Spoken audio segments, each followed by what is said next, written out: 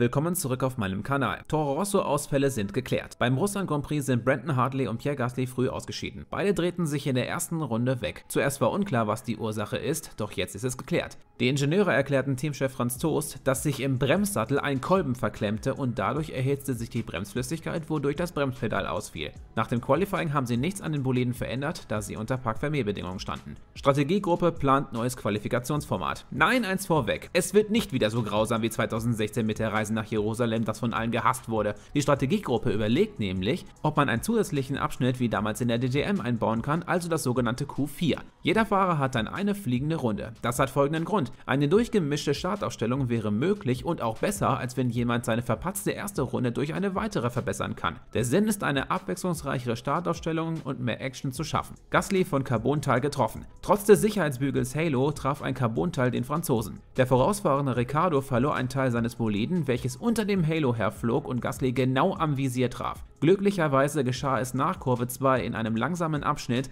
und nicht auf einer langen Geraden bei hoher Geschwindigkeit. Nachdem es auf dem Visier aufgeschlagen und ins Cockpit gefallen ist, entsorgte der Toro Rosso Pilot das Teil in Kurve 4. Und jetzt hätte ich gerne eure Meinungen zu den einzelnen Themen in den Kommentaren. Das war's mit den Formel 1 News. Sollte es euch gefallen haben, dann gebt dem Video einen Daumen nach oben und abonniert diesen Kanal, um keiner meiner zukünftigen Videos zu verpassen. Wir sehen uns im nächsten Video. Ciao.